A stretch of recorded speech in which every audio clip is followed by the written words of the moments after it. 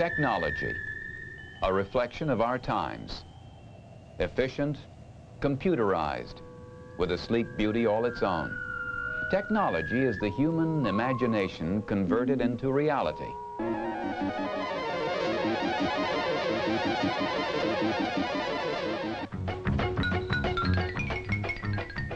But as technology advances, we always find time to laugh, perhaps too hard, at pictures of machines, those products of our minds and times, making us look ridiculous, befuddling us, frustrating us.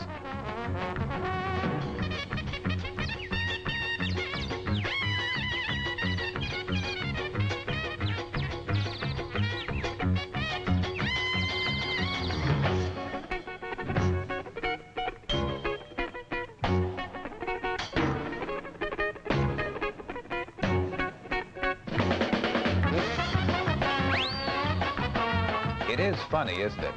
Watching technology take a step backward.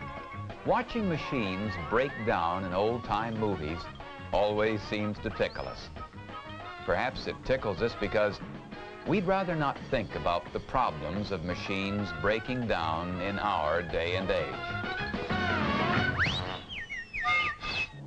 For we have become a people, indeed a whole world, dependent upon the technology, the enormous, sophisticated, complex technology that we have created.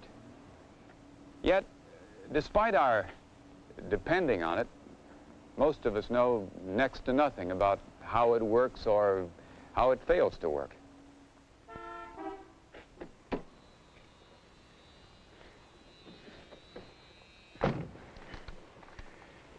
We, all of us, are caught up in a, a real world, a place somewhere between the space technology and the diabolical machines of the silent movies.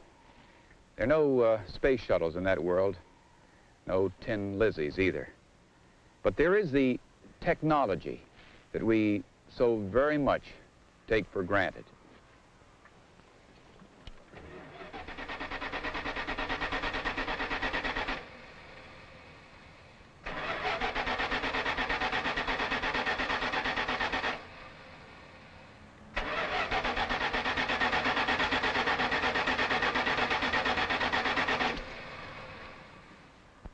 Now, certainly from time to time, we know that our cars may not work. We may not have maintained them properly. Or that a hot water heater won't give us our share of hot water. We may not have taken care of it.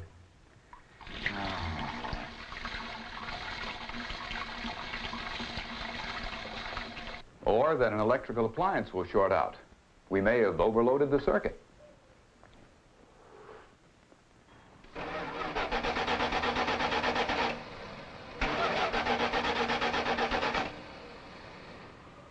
Course, these are just little problems.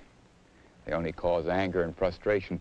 But what's really important is that they point out the larger responsibilities and potential dangers that are tied in with the technological world.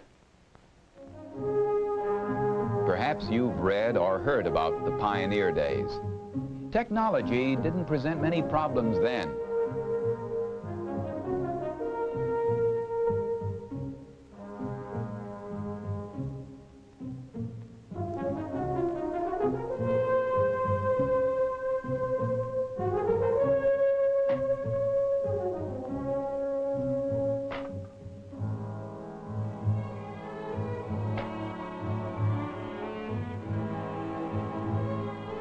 Forefathers grew their own food, supplied the materials to furnish their own heat and light, and got their own water from a stream or well. Life was much simpler then.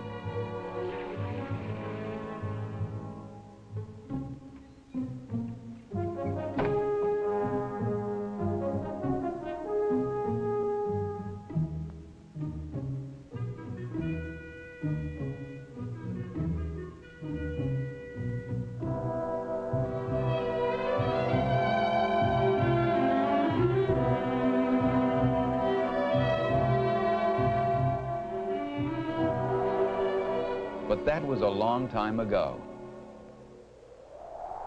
Ironically, we can still see traces of some of those early homesteads which fell victim to a lack of technology. Today, many of us have no idea where our food comes from, have no idea how or where our electricity and gas arrive, have no idea where our drinking water comes from. We only see the last step, the supermarket, the switch, the knob, the faucet. But the actual source of energy to run our industrial world remains a vast, mysterious system which somehow seems to work, but which many of us don't really understand. For so many fundamental needs, we depend upon things beyond ourselves, things over which we seem to have no control.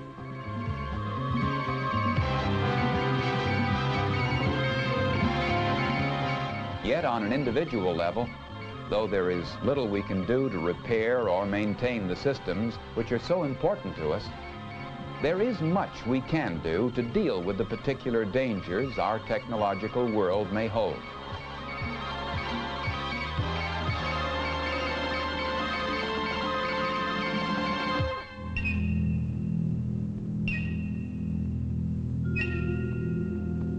Perhaps the most wide-ranging technological failure in man's history was the famous blackout which struck the New York City area on November 9, 1965.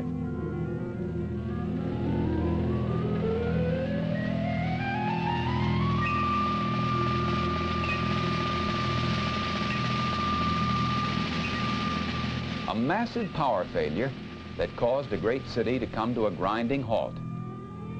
Contrary to the popular notion that people panic during emergencies, the simple fact is they don't. During the blackout, people stayed calm and helped each other overcome an incredible technological disaster. Less dramatic than a blackout, but a situation in which individuals can be of great help, is a brownout a planned cutback in electrical power. During such a period, individuals can work to prevent a large-scale power failure by not using convenience electrical items like dishwashers, record players, or power tools, by turning off air conditioners, by not using more lights than necessary, and by turning out lights when leaving a room. Fire another technological disaster during which individuals may be called upon to take quick action. Conventional wisdom suggests putting water on a fire, but in many cases, this is exactly the wrong thing to do. With an electrical fire, be sure to turn the electricity off before applying water. If the electricity cannot be turned off, smother the fire with sand or CO2 from a fire extinguisher. The same goes for grease and oil fires. And in the case of gas fires, shut off the burners if you can. Get out, then call the fire department. Gas can cause explosions and more fires. If you have turned the gas flow off, water, sand, earth, or wet blankets will all be useful in putting out the remaining fire. Yes, our wonderful world of technology can be an exciting one, and quite often beautiful and awe-inspiring.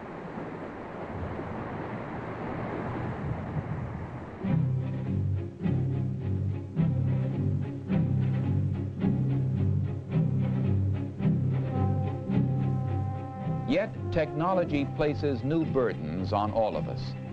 Burdens our grandparents never dreamed of. Without electricity, for example, there could be no electrical fires, no blackout for that matter. When something like the New York City blackout happens, it vividly demonstrates how technology has dwarfed most individuals, how it has separated them from basic necessities, made the getting of these necessities as impersonal as turning on a faucet.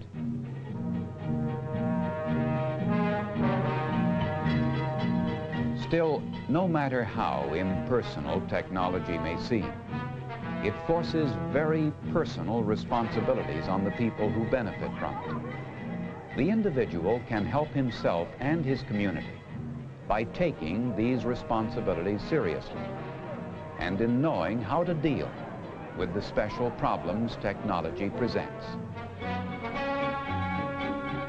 The point is that our advanced and advancing technology can be oh, presenting new and exciting possibilities which can be of enormous benefit to man.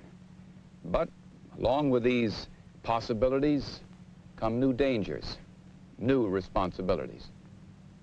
Today it is vital to learn enough about these new dangers to be able to make a reasonable action decision when we are confronted with them.